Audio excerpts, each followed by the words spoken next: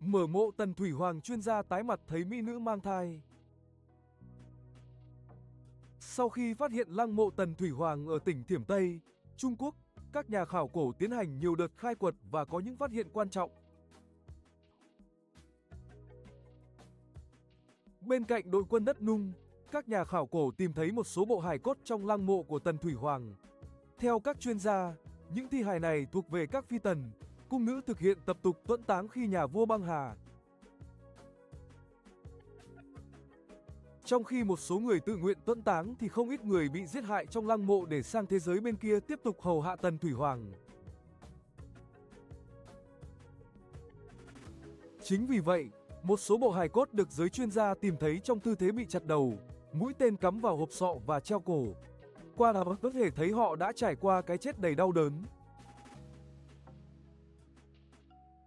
Các chuyên gia vô cùng bất ngờ khi tìm thấy một xác ướp thai phụ tại nơi yên nghỉ ngàn thu của Tần Thủy Hoàng. Từ đây, nhiều người đặt ra câu hỏi liệu đứa trẻ trong bụng có phải con của vua Tần nổi tiếng lịch sử. Khi còn sống, trong hậu cung của Tần Thủy Hoàng có không ít phi tần, mỹ nữ xinh đẹp. Việc ông sủng hạnh và có con mỹ nhân nào khó có thể có thông tin chính xác. Một số chuyên gia hoài nghi xác ướp thai phụ trên có thể mang trong người đứa con của Tần Thủy Hoàng.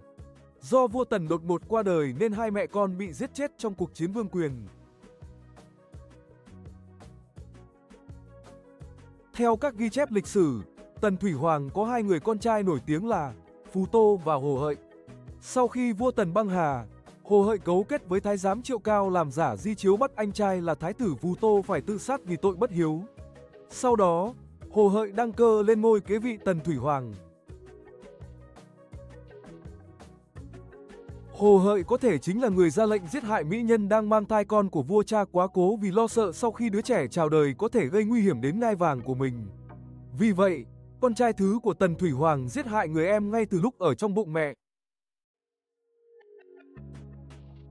Đây chỉ là giả thuyết.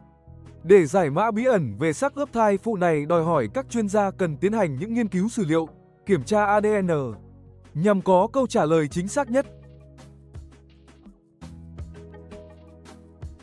Cảm ơn bạn đã xem video.